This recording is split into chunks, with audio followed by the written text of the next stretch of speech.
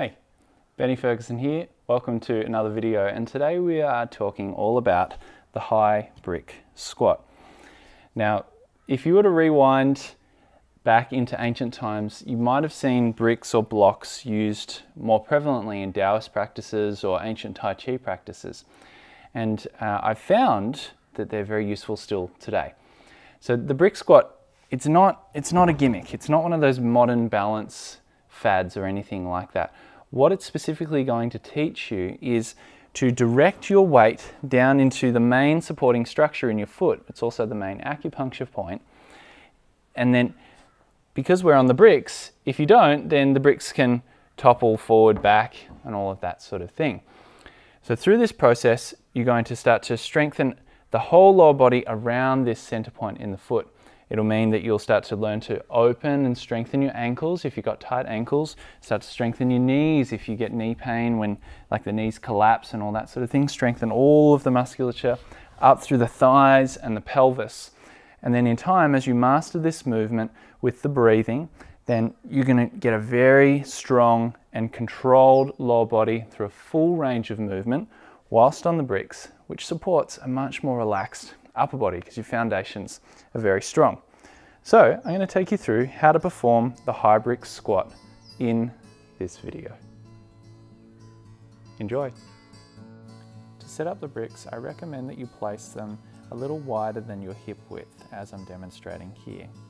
The wider the bricks are spaced apart, the deeper you will train the tissue of the hips. Take care when stepping onto the bricks and ensure your mind is as calm as possible. You're looking to direct this center point of the foot directly onto the center point of the bricks. Once you've aligned the center point of the foot, place your weight onto that and then step up onto the other brick. If you need to use a wall or chair to support your balance initially, then feel free to.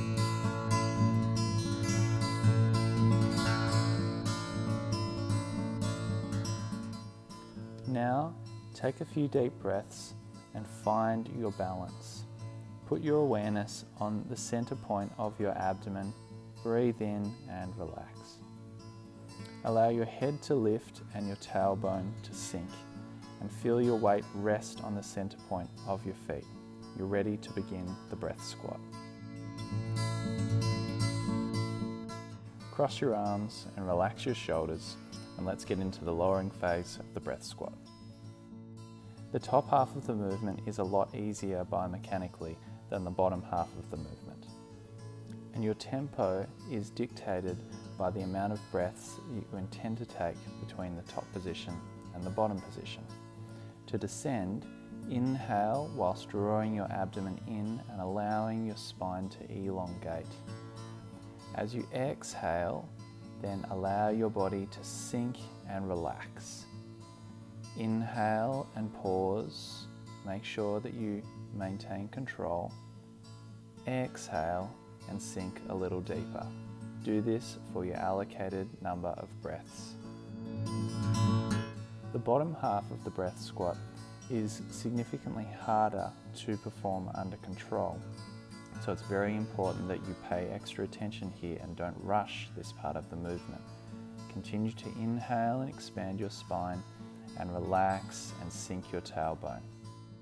Practice keeping your weight centered on your feet whilst keeping your whole body as relaxed as possible.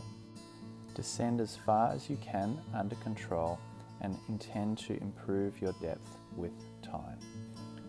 After performing the lowering phase, and you found yourself as deep as you can whilst keeping your feet centered, you'll then continue the breathing action that you established in the lowering phase. Breathe in the bottom phase and find continual deeper and more centered and relaxed position. Stay here for the same amount of breaths that you took to descend in the lowering phase of the movement.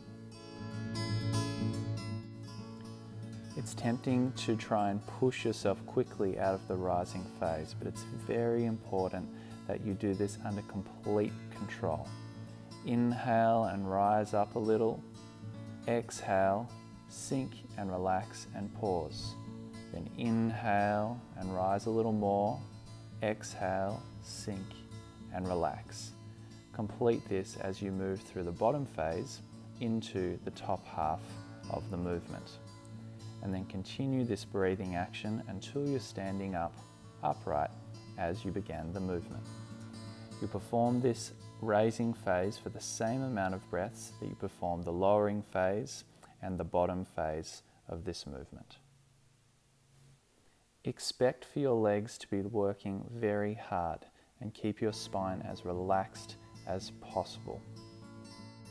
It's not uncommon for your lower body to shake involuntarily.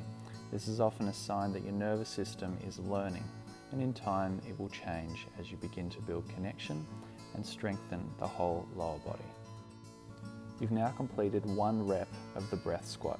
I know it's tough, but practice patience and consistency with this movement and it will yield very powerful results for you to release your whole body of tension and strengthen your lower body more deeply. When you're stepping off the bricks, make sure that you be careful once again, like when you are stepping onto the bricks.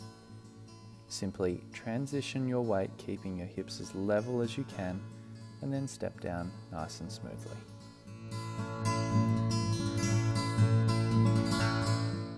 Once you're able to perform all phases of the movement for at least 10 breaths with complete control, you should be ready to start to stack the bricks higher. This is going to force you to direct your weight down into the center point of your feet more precisely.